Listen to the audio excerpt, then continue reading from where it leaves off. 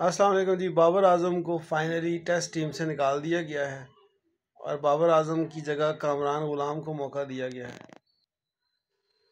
अब पाकिस्तान टीम में शाहीन अफरीदी को और नसीम शाह दोनों को निकाल दिया गया है। अब पाकिस्तानी टीम को फास्ट बॉलर चाहिए ही नहीं है। सिर्फ़ आमर जमाल जो है वो थोड़ी बहुत फास्ट बॉलिंग करेगा।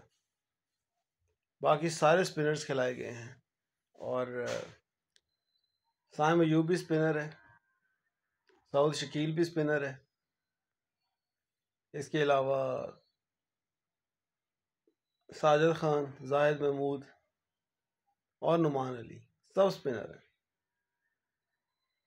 और फास्ट बॉलर्स बिल्कुल ज़ीरो कर दिए गए हैं, कोई फास्ट बॉलर नहीं होगा।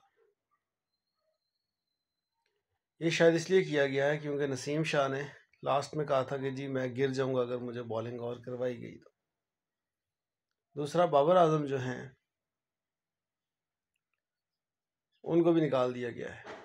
और उनकी जगह कामरान गुलाम आज पहला टेस्ट मैच अपना खेलेंगे। शुक्रिया।